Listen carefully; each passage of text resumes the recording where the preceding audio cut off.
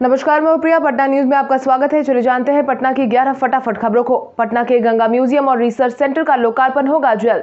बिहार की राजधानी पटना में जल्द ही गंगा म्यूज़ियम और रिसर्च सेंटर खुलने वाला है, जिसका लोकार्पण जल्द ही होने की उम्मीद है। मीडिया में चल रही खबरों के अनुसार उप मुख्यमंत्री तारकिशोर प्रसाद ने कहा है की पटना में तीन सौ छत्तीस करोड़ रूपए की लागत से बने गंगा म्यूज़ियम और गंगा रिसर्च सेंटर का लोकार्पण जल्द होगा। तारकिशोर तारकिशोर प्रसाद की माने तो ये दोनों केंद्र पटना के स्माहर घाट पर बने हैं और बहुत उपयोगी साबित हो सकते हैं। आपको बता दें, तारकिशोर प्रसाद ने उक्त बातें विधान परिषद में नीरज कुमार के तारांकित प्रश्न के दौरान दी है। बिहार दिवस समारोह में शामिल होंगे पटना के दो विश्वविद्यालय। बिहार दिवस आने में अब बस कुछ ही दिनों का समय रह गया है। वहीं इस बार कोरोना का प्रभाव भी कम है, ऐसे में उम्मीद है कि बिहार दिवस समारोह का आयोजन भव्य तरीके से होने वाला है। इसी के तहत अभी से ही तैयारियाँ भी तेज कर दी गई है। मीडिया में चल रही खबरों के अनुसार शिक्षा मंत्री विजय कुमार चौधरी के निर्देश पर पहली बार बिहार दिवस समारोह दो हज़ार बाईस में उच्च शिक्षा निदेशालय की सहभागिता होने वाली है। इस निदेशालय द्वारा संयोजित कार्यक्रम में बाईस, तेईस और चौबीस मार्च को राजधानी के दो प्रमुख विश्वविद्यालय, पटना और पाटलिपुत्र विश्वविद्यालय के बच्चे विभिन्न कार्यक्रम प्रस्तुत करेंगे। करेंगे।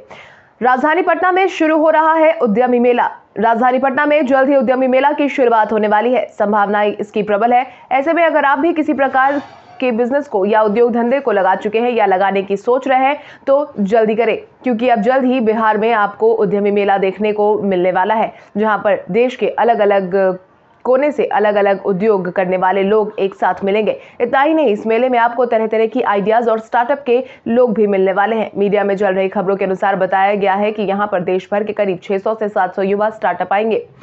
पटना जंक्शन पर 120 लीटर अंग्रेज़ी शराब बरामद। बिहार में कहने को शराबबंदी लागू है, लेकिन इसकी सच्चाई क्या है, इसकी जानकारी आपको भी बखूबी होगी। इसी कड़ी में राजधानी पटना में पटना पुलिस को बड़ी कामयाबी मिली है, जिसके तहत ही शराब तस्कर 150 लीटर विदेशी शराब ट्रेन के ज़रिए पटना लेकर तो आए, लेकिन जीआरपी की चेकिंग में पूरी खेप पकड़ी गई। आपकी जानकारी के लिए आपको बता दें, होली से पहले के मद्देनजर पटना जंक्शन पर विशेष चेकिंग अभियान चलाया जा रहा है।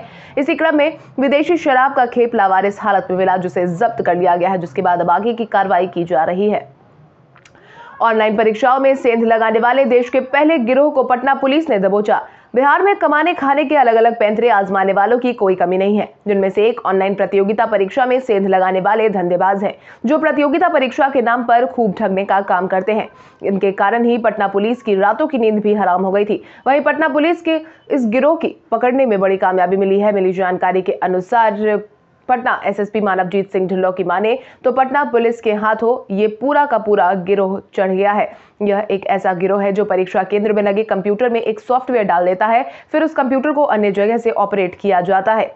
होली में गली गली में तैनात है ये स्पेशल फोर्स। होली में हुड़दंग करने वालों को लेकर पटना पुलिस अभी से ही अलर्ट होकर काम कर रही है, जिसके तहत ही त्योहार के दौरान शहर में शराब पीकर कोई हुड़दंग ना करे। बाइकर्स का खौफ पटना की सड़कों पर ना दिखे। इसको लेकर एसएसपी मानवजीत सिंह ढिल्लो ने सुरक्षा मामले की जानकारी देते हुए बताया है कि होली के पहले और होली के दौरान सुरक्षा के मामले को लेकर एक धावा दल का गठन किया गया है। ये धावा दल लगातार पटना के अलग अलग इलाकों में होटल और संदिग्ध स्थलों की चेकिंग में लगा हुआ है।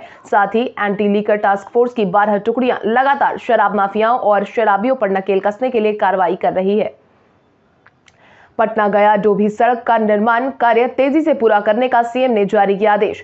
पटना गया डोभी सड़क का निर्माण तेज़ी से पूरा करने का निर्देश पदाधिकारियों को बीते दिन मुख्यमंत्री नीतीश कुमार ने खुद दे दिया है। इस बाबत उन्होंने कहा है कि जैसा आप सबको पता है कि गया ऐतिहासिक जगह है क्योंकि गया और पुनपुर में बड़ी संख्या में लोग पिंडदान करने के लिए आते रहते हैं। तो ऐसे में अगर निर्माण कार्य तेज़ी से हुआ तो पटना गया डोभी मार्ग के बनने से पटना से गया आवागमन और आसान हो जाएगा। इतना ही नहीं, इस सड़क के बन जाने से पर्यटकों को भी काफ़ी सहूलियत होगी तथा इस क्षेत्र का भी तेज़ी से विकास होगा। पटना में जुटे सरकारी परीक्षाओं में उत्तीर्ण बेरोजगार अभ्यर्थी। एक तरफ़ नेता प्रतिपक्ष तेजस्वी यादव सत्ता पक्ष के लोगों को बेरोजगार रैला करने की धमकी देते रहते हैं। वहीं दूसरी तरफ़ बेरोजगार युवा भी इससे अछूते नहीं है। ये भी अपनी मांग को लेकर बुधवार को राजधानी पटना के नृत्य कला प्रांगण में पहुँचे और मुखर होकर अपनी मांग को रखते देखे गए और सरकार को खुली चुनौती तक दे दी और कहा कि अगर हमारी मांग समय पर नहीं मानी गई तो हम शांति त्याग कर उग्र आंदोलन करेंगे। आपको बताते चले कि बुधवार को राजधानी के नृत्य कला प्रांगण में राज्य भर के बेरोजगार युवा वहाँ एकजुट हुए थे। पटना में कोरोना के आए मात्र दो मामले। बिहार में कोरोना के मामलों में गिरावट जारी है। स्वास्थ्य विभाग की तरफ़ से साझा की गई जानकारी के अनुसार कुल मिलाकर 10 मरीजों की पुष्टि हुई है, जिसके बाद बिहार में एक्टिव मरीजों की संख्या 126 पर पहुँच गई है। इसके साथ ही अगर हम राजधानी पटना की बात करें तो कुल मिलाकर दो मामलों की पुष्टि हुई है, जो की एक सैंपल की जाँच के बाद पॉजिटिव आए हैं। आयुष कॉलेज में सेकेंड राउंड का नामांकन अब इस दिन से। बिहार संयुक्त प्रतियोगिता प्रवेश परीक्षा पार्षद ने bachelors of Ayurveda medicine and surgery bachelors of homeopathic medicine and surgery और bachelor of Unani medicine and surgery में नामांकन की सेकेंड राउंड की तारीख में बदलाव कर दिया है। बोर्ड की तरफ़ से जारी नोटिस में बताया गया है कि सेकेंड राउंड का प्रोविजनल सीट आवंटन 15 मार्च के बजाय अब 25 मार्च को होगा। वहीं आवंटन लेटर 25 से उनतीस मार्च तक डाउनलोड करना होगा।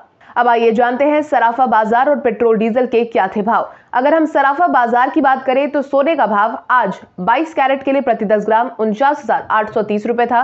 वहीं 24 कैरेट के लिए प्रति 10 ग्राम चौवन हज़ार तीन सौ साठ रुपए था। इसके साथ ही अगर हम चांदी की बात करें तो चांदी का भाव प्रति किलो इकहत्तर हज़ार दो सौ रुपए था। इसके साथ ही राजधानी पटना में पेट्रोल की कीमत एक सौ पाँच दशमलव नौ तीन रुपए प्रति लीटर और डीजल के दाम इक्यानवे दशमलव शून्य नौ रुपए प्रति लीटर था। वहीं अगर आज हम तापमान की बात करें तो अधिकतम इकतीस डिग्री सेल्सियस, वहीं न्यूनतम सोलह डिग्री सेल्सियस है। कल हमारे द्वारा पूछे गए सवाल का जवाब आप में से बहुत सारे यूज़र ने हमें कमेंट करके दिया था। उसके लिए आपका बहुत बहुत धन्यवाद। आप में से जिन यूज़र का कमेंट हमें अच्छा लगा है, उनके नाम है Gautam Kumar, Gajendra Singh, Nunnu Kumar tech heroes travels Vibhesh Bihari, Lakshman Kushwaha. आप इसी तरह हमारे सवालों का जवाब देते रहे। जो भी यूज़र हमारे सवालों का सही जवाब देंगे, उनका नाम हम हर दिन वीडियो के अंत में लेने की पूरी पूरी कोशिश करेंगे। तो चलिए बढ़ते आज के सवाल की। और आज का सवाल कुछ इस प्रकार है। आपके अनुसार राजधानी पटना के कौन से इलाके में विकास की सख्त ज़रूरत ज़रूरत है। अपने जवाब में कमेंट करके ज़रूर बताएँ। इसके साथ ही आज के लिए बस इतना ही। पटना की बड़ी खबरों से अपडेटेड रहने के लिए हमारे यूट्यूब चैनल को सब्सक्राइब करें और बेलाइकॉन दबाना ना भूलें। धन्यवाद।